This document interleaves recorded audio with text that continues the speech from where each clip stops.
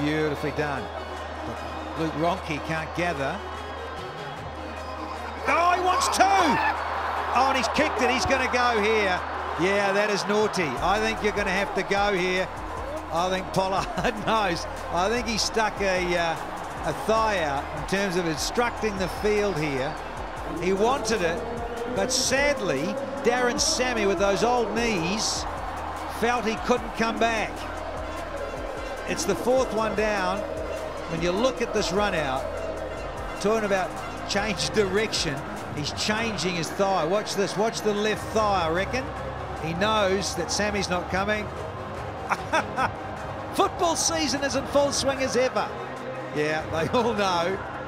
And he may as well keep running back, and he knew straight away. Pollard has gone ski.